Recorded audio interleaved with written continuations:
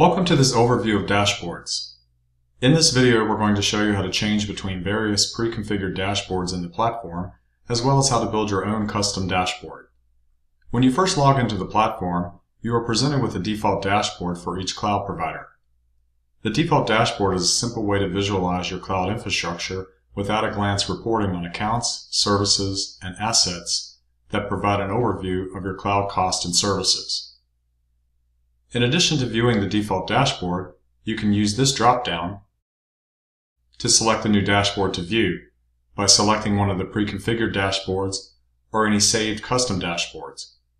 We'll go over building dashboards in just a moment. Let's take a look at one of the pre-configured dashboards called AWS Overview. The AWS Overview dashboard provides a different arrangement than the default AWS dashboard and shows a variety of graphs and charts reporting on different areas of your AWS infrastructure. If you like the layout of the AWS overview and would like to set this dashboard as the default dashboard, you can click on the bookmark icon in the top right of the screen to save this dashboard as the default. This way, the next time you log into the platform, the AWS Overview dashboard will be the first dashboard you see. If neither the default dashboard or any of the pre-configured dashboards provide the high-level information that you or your organization needs, you can create a custom dashboard. To do so, click on the ellipsis next to the bookmark icon and select New. Here you can build your own customized dashboard. You can create multiple dashboards tailored for specific users. For example, you could create a dashboard that is solely focused on usage and create another that looks at performance. Additionally, custom dashboards can display data in multiple ways, including bar charts, pie charts, and tabular data. A custom dashboard can provide multi-cloud information, so if your organization utilizes more than one cloud provider, you can pull all of that information into one centralized screen. It is important to note, however, that even though dashboards can report on multiple cloud providers, they are not available in other cloud tenants in the platform. This means if I create a custom dashboard here under the AWS tenant, if I toggle over to Azure, this custom dashboard will not be available to view under that tenant. Given this, we recommend building your custom dashboard in the tenant you use most often if you intend to utilize information from other cloud providers within the custom dashboard. Your custom dashboard can be comprised of several different rows. Each row allows you to select an arrangement for the columns in that row. You can arrange your row to consist of one to three columns. Click on the Change Row Columns icon to select from different layout options for the columns in that row. I'm going to select the two-column layout with a much larger column on the left side. Once you've set the layout, move to the Widgets section of the Dashboard Builder.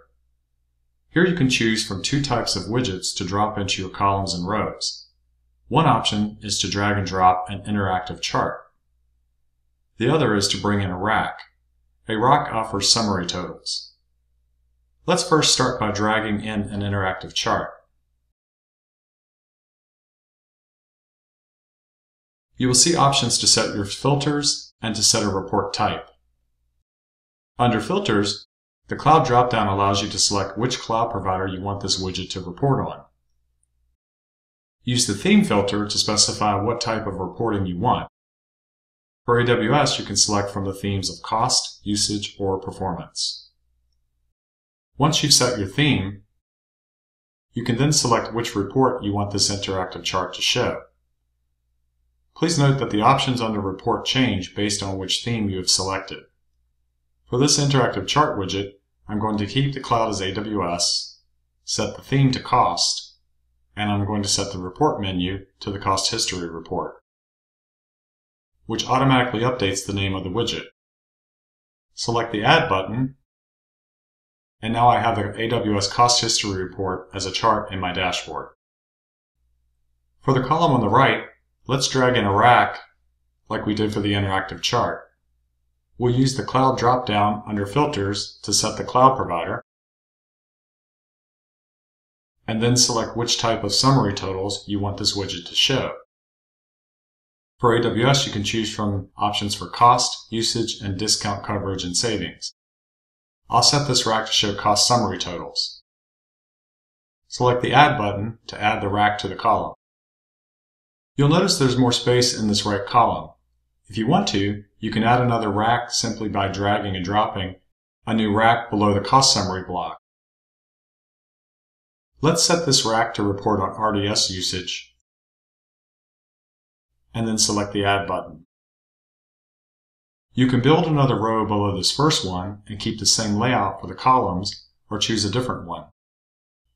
Add more rows by clicking the Add Row link as you add your rows, drag and drop in your widgets to build a dashboard that reports on the items you want to see.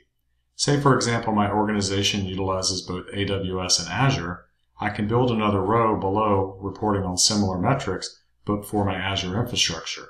Or you can decide to include multiple cloud providers in one row by configuring your columns. The choice is up to you. Once you have your dashboard configured exactly how you want it, select My Dashboard to give your custom dashboard a name. You can choose to make this dashboard private or public. Saving it as a public dashboard will allow anyone using the CloudHealth platform to select this dashboard from the dashboard dropdown that we showed you at the beginning of the video. Saving it as private means that dashboard is only visible to you. After you've set the dashboard to be public or private, click the Save button. You can now make this your default dashboard by clicking the bookmark icon. If you want to make additional edits or changes, you can select the Edit icon. The ellipsis allows you to copy the custom dashboard. You can also copy any of the pre-configured dashboards within the dashboard dropdown if you don't want to build a dashboard from scratch, but would rather copy an existing one and then make customizations. You can also download a snapshot of the dashboard as a PNG or subscribe to it so a snapshot is sent to you by email on a regular cadence. If you no longer need this custom dashboard, you can delete it. Additionally, you can click on the Dashboards dropdown and select View All Dashboards to go to the Dashboard Manager where you can see a full list of dashboards available to you. Here you can also choose to copy, edit, view, or delete a dashboard. And that completes our overview of dashboards and how to build a custom dashboard. Thanks for joining us.